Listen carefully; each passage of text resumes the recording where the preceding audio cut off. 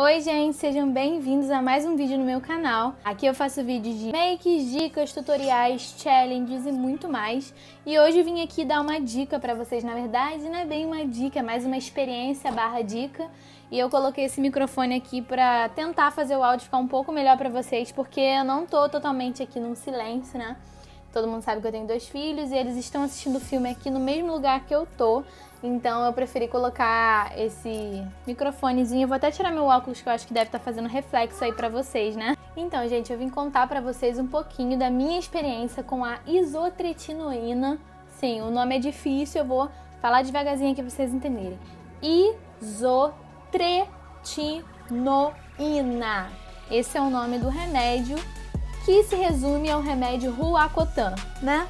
É basicamente isso, eu não sei explicar para vocês direitinho por que que é o nome, não sei. Eu sei que foi esse remédio que eu usei e esse remédio ele é usado para acabar com a acne, ou seja, né, aquele pesadelo que você tem desde adolescente vai embora. É o que a gente espera, né? Porque tem pessoas que voltam com a acne depois, mas o, o principal desse remédio é acabar com a acne de vez. Ou seja, se você já foi no dermatologista um milhão de vezes, se você já usou um milhão de sabonetes, se você já usou um milhão de gel, é, mas o que, que eles costumam passar? Ácido, ah, passei ácido, passei gel, passei sabonete, passei tudo que possa imaginar. E sempre volta, porque quando a gente para de usar esses produtos, eles voltam. A acne volta, volta pior, e aí você fica, meu Deus, mas eu acabei de fazer um tratamento com com ácido, não sei o que fazer mais. Você fica naquilo. Foi exatamente o que aconteceu comigo. Na minha família eu tenho, eu tenho até um vídeo aqui falando sobre meu primeiro mês com Roacutan. Eu até contei um pouquinho, vou deixar aqui nos cards para vocês poderem ver. E eu acho que é aqui nos cards. Aqui nos cards, tá, gente? É esses cards aqui. Esse remédio, gente, eu resolvi tomar depois de, de ter uma pessoa que eu conhecia próxima que já tinha tomado. Eu já tinha ouvido falar do remédio, mas eu tinha uma impressão assim horrível do remédio, pelo simples fato de muita gente sempre focar nos efeitos colaterais dele. Então eu sempre achava que, meu Deus, se eu tomar esse remédio, eu vou ter depressão, eu vou ter ansiedade, eu vou ter isso, eu vou ter aquilo, eu posso morrer, eu posso ter isso, eu posso ter aquilo, um monte de coisa. Então eu ficava super assustada que as pessoas sempre falavam só isso. Mas, é, depois de muitos tratamentos, né, com outros métodos, eu resolvi arriscar. Eu fui na minha dermatologista e falei: olha, mostrei o estado do meu rosto, eu tive que ir sem maquiagem, que era muito ruim pra mim. Eu vou até contar um pouquinho da minha história pra vocês com a maquiagem, né? Com a acne também. Que era o seguinte, gente: eu tenho acne desde que eu tinha 12 anos de idade e sempre me senti muito mal. Principalmente nessa área aqui da minha testa, eu tinha muitos escravos, muitos escravos mesmo era muito ruim. E toda vez que eu comesse alguma coisa gordurosa ou passasse por algum estresse, sempre aparecia uma acne feia, horrível. E assim foi piorando ao longo do tempo, né? Quando eu engravidei, meu rosto ficou maravilhoso. Eu, eu tava tomando, né, vitaminas e um monte de coisa. E eu não sei se também a questão da gravidez ajuda, mas a minha pele ficou assim incrível. Eu perdi todas as acnes possíveis. E depois, logo depois, eu já tive outro filho, então a minha pele não teve um tempo assim ruim entre o período de dois anos por aí. E aí depois que eu tive o meu segundo filho, a acne voltou completamente, voltou com tudo. É, minha pele ficou horrível. Eu vou deixar algumas fotos aqui para vocês assistirem essas fotos horríveis de como era a minha pele. São fotos horríveis porque essas fotos ninguém tinha acesso porque eu sempre fiz questão de sair de maquiagem. Eu poderia ir na padaria, mas uma base eu usaria para esconder essas manchas horríveis que a acne deixa na nossa pele, que deixa a gente com muita vergonha, né? E tudo mais. É, eu tava pesquisando minha profissão, o que eu queria ser, mas aí eu tinha dois filhos pequenos, então eu resolvi optar pela maquiagem, que seria um, um trabalho que envolveria algo que eu gosto e ao mesmo tempo me permitiria passar mais tempo com os meus filhos, né? E quando entrei na área da beleza, gente, eu percebi que assim, eu ia fazer, eu ia reproduzir as maquiagens que eu aprendia no meu curso e, e ficava horrível em mim. Ficava horrível, porque eu tinha muitos relevos aqui e muita vermelhidão, às vezes eu não conseguia camuflar direito com a base, porque eu ainda estava aprendendo. Então eu comecei a entrar em pânico, principalmente porque eu ficava pensando, gente, quando eu tiver os meus primeiros clientes e eu aparecer com essa pele, o que as pessoas vão pensar de mim? Elas vão pensar que eu uso produtos péssimos, elas vão pensar que eu não cuido da minha pele, ou seja, eu sou uma péssima profissional, eu comecei a me sentir mal com aquilo. Mesmo assim, eu comecei, eu continuei enfrentando, né? Da forma que eu podia. Eu passava base, passava corretivo, camuflava com corretivo verde e tudo mais. Aquilo foi me incomodando e aí, como meu esposo estava desempregado, eu não podia começar um tratamento com remédio porque esse remédio é caro. Eu esperei, né? E aí Deus deu um emprego para ele, graças a Deus. E aí eu resolvi, depois da gente se ajeitar, eu resolvi começar esse tratamento. Gente, ó, isso aqui é pele, tá? Da minha boca, não é sujeira não é pele. É, eu tô inclusive sem o meu hidratante labial que eu costumo passar, para mostrar a vocês como é que é minha boca realmente, como é minha pele. A única coisa que eu tô usando aqui é sombra e rímel, mais nada. E aí, gente, eu resolvi na dermatologista, né? Tava com plano de saúde já, eu falei, não, agora vai. Porque a minha irmã, gente, ela já tinha feito esse tratamento e aí nós conversamos bastante. A acne dela era muito pior do que a minha. E aí eu vi o quanto o rosto dela melhorou e quis arriscar, né? Porque eu já não via mais soluções. E aí eu fui na dermatologista. Eu queria muito explicar para vocês sobre isso também. Você tá me assistindo aqui, você tem um problema com acne, você tá achando que é só você chegar na sua dermatologista e pedir para ela passar? Pode esquecer disso que ela não vai fazer isso, tá? Ela só vai fazer isso se você já tiver tentado todos os métodos possíveis com ela, tá? Métodos com ela para que, que ela realmente entenda que o seu rosto só vai melhorar com a isotretinoína. Então, é, eu fui nessa dermatologista, expliquei para ela e falei, olha, eu tenho muita vontade de usar o, o Roacutan. É, eu já conheço, eu já sei dos riscos, eu já li sobre, eu já tenho pessoas que eu conheço que usaram. Eu falei tudo isso pra, ela, era minha primeira vez com ela. Eu falei, olha, eu já usei ácido, eu já usei sabonete, realmente já tinha usado, tá? Só que não com ela. Já fiz de tudo e não melhorou. Toda vez que eu parava o tratamento, é, voltava tudo e pior. Ela falou: Ah, sim, então o seu caso é bem tenso mesmo, sua família, não sei o que, não sei o que. Olha, eu vou fazer o seguinte: não vou passar o Roacotan de primeira, a gente vai fazer um, um tratamento com o ácido, tá bom? Aí ela me passou o ácido durante seis meses. E aí eu usei o ácido e realmente o meu rosto começou a melhorar, né? É, no último mês do ácido, o meu rosto começou a piorar. Eu fiquei sem tomar, sem usar o ácido no rosto, né? Que é um creminho que eu nem me lembro o nome que eu usava, mas no outro vídeo, é, o vídeo anterior tem o nome certinho. Aí eu terminou meu tratamento com, com ácido, eu voltei nela e falei, olha, como é que meu rosto tá? Eu mostrei uma foto do antes, eu falei, olha, melhorou um pouco, mas não totalmente, e começou a piorar agora no último mês do ácido.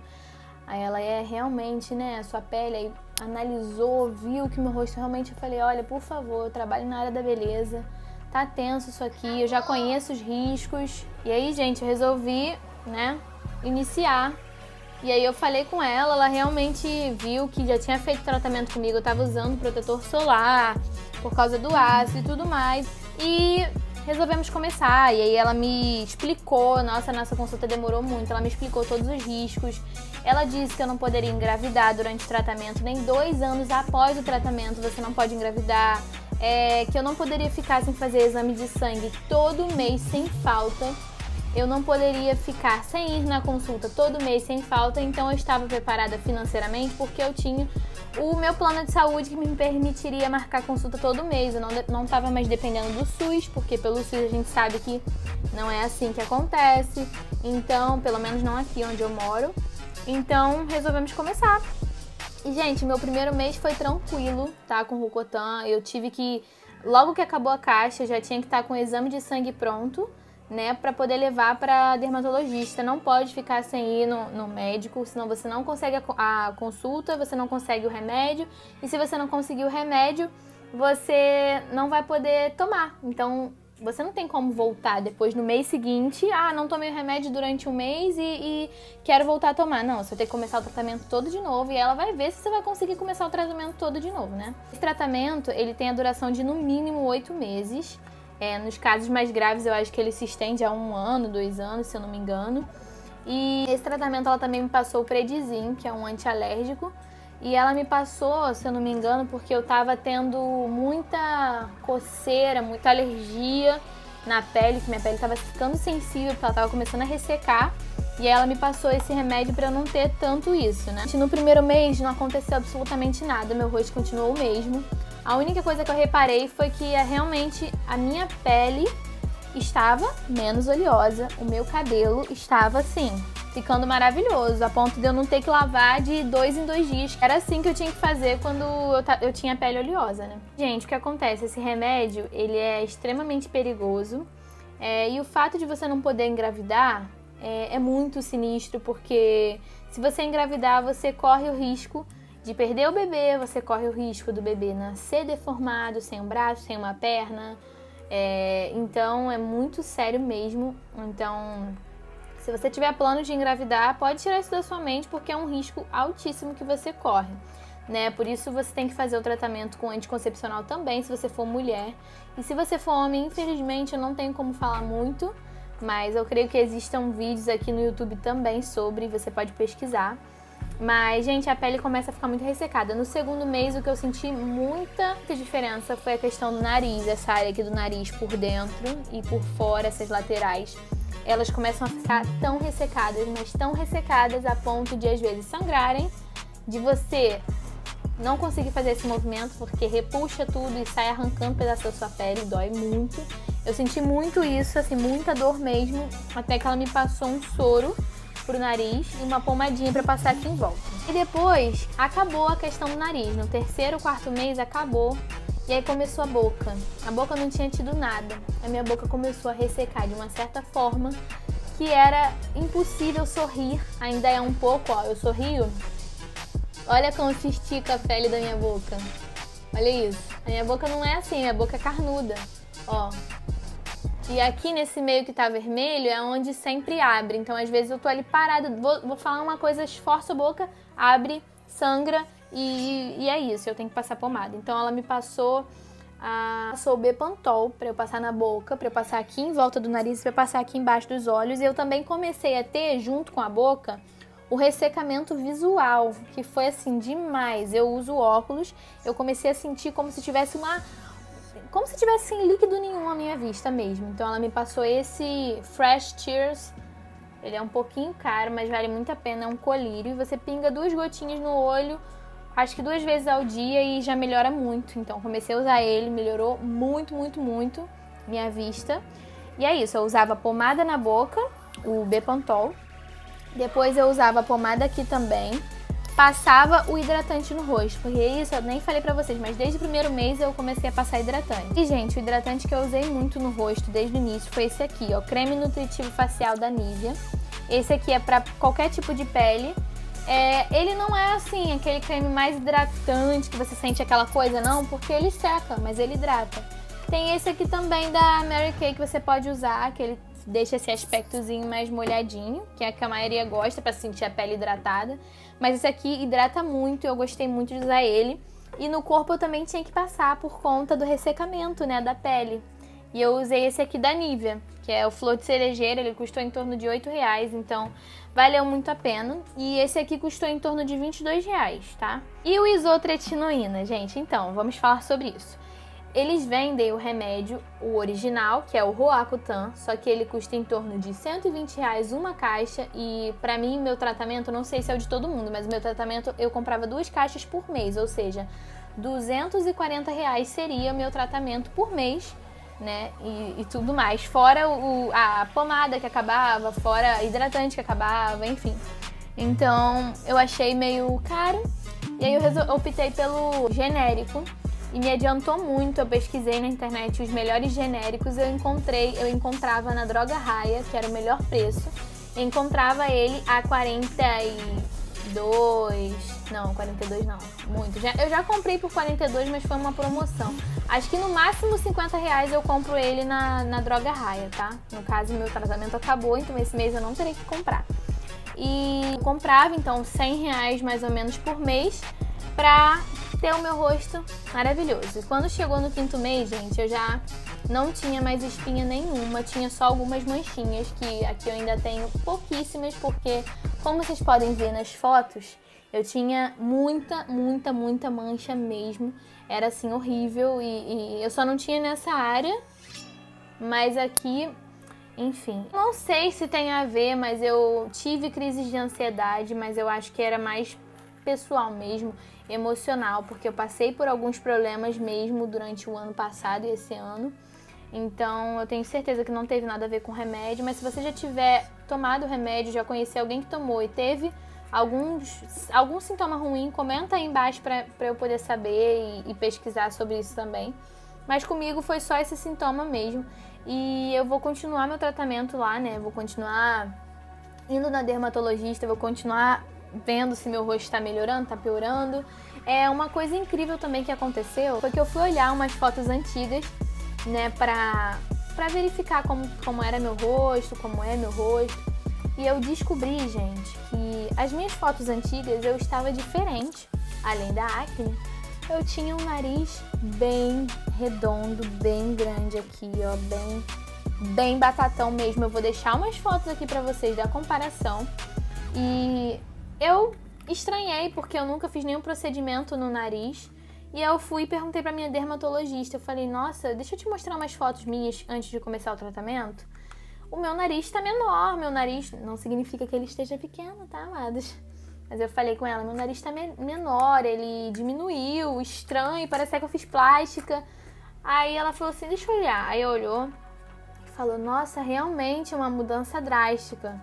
Ela foi pesquisar e descobriu que não é normal, não é comum, não é comum, não é uma coisa que todo mundo é, passe, mas ela disse que provavelmente o remédio diminuiu o meu nariz, mas diminuiu porque os meus poros eram tão inchados, tão inflamados, que eles deixavam a minha pele inchada, ou seja, essa área aqui também diminuiu, essa área aqui do nariz também, eu tinha bastante cravinho interno aqui.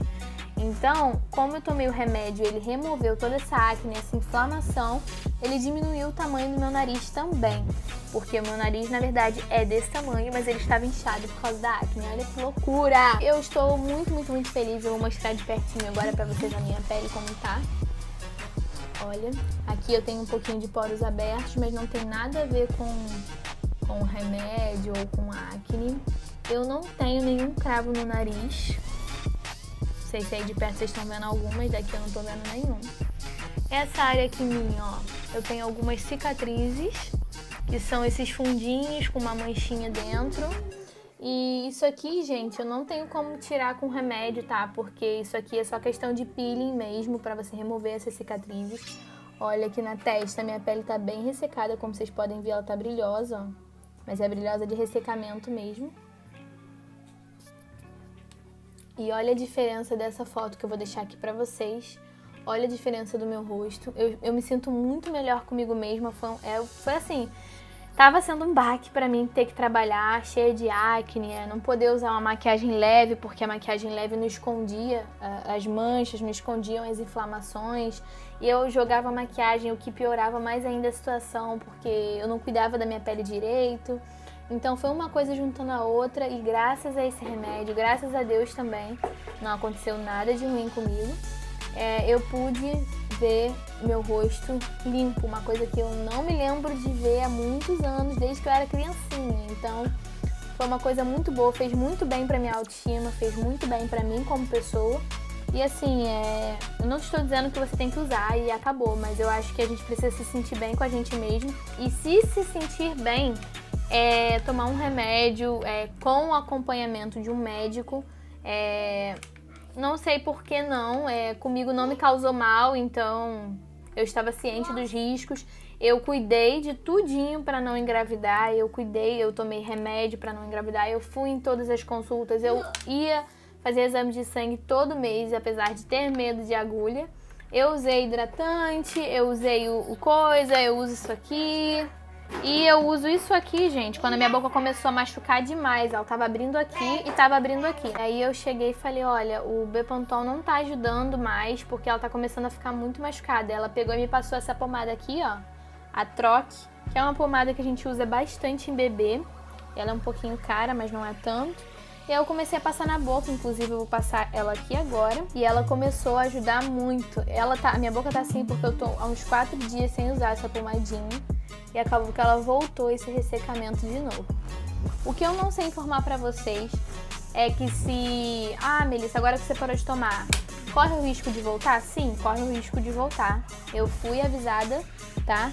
que eu poderia ter que fazer o tratamento pela segunda vez, mas eu acredito que isso não vai acontecer comigo, até porque a minha acne não era aquela acne completamente inflamada, assim, com muitas, sabe, escamações na pele, muitas inflamações. Mas eu vou ficar de olho, né? Óbvio. Esse remédio tem quase, sei lá, 4% de chance disso acontecer. Então é muito pouco e. Gente, vale muito a pena. Olha como eu me sinto agora. Eu tô tranquila aqui na frente da câmera. Se fosse há um tempo atrás, eu jamais estaria falando aqui de pertinho com vocês, porque eu me sentia muito mal, mesmo com a acne, assim. Eu ia pra praia eu tinha que passar base porque eu me sentia feia, horrível. Não significa que as pessoas que têm são, mas eu me sentia assim. Era horrível. Ainda mais porque eu tinha alguns apelidos também na escola, então era tenso. Mas graças a Deus foi tudo resolvido e essa minha experiência foi uma das melhores coisas que eu já fiz. Foi ter usado isotretinoína, tá? Quem usa também não pode beber, não pode beber, né? Álcool no caso. E tem que cuidar bastante da alimentação também, porque ele mexe com o fígado, então precisa cuidar bastante da alimentação. Eu fiz tudo certinho e graças a Deus meu tratamento acabou e eu tô muito feliz com o resultado. Se você gostou desse vídeo, se inscreve aí no canal, comenta aí pra mim o que você achou, é, se você vai usar, se você tem vontade. Se quiser perguntar alguma coisa é, pessoal pra mim também na questão do uso, pode perguntar. Curta esse vídeo, compartilha aí com alguém que você acha que realmente precisa ver. E é isso, gente. Pesquisem muito antes de tomar qualquer decisão e beijos e até o próximo vídeo. Vou deixar algumas fotos aqui de perto para vocês poderem ver. Tchau!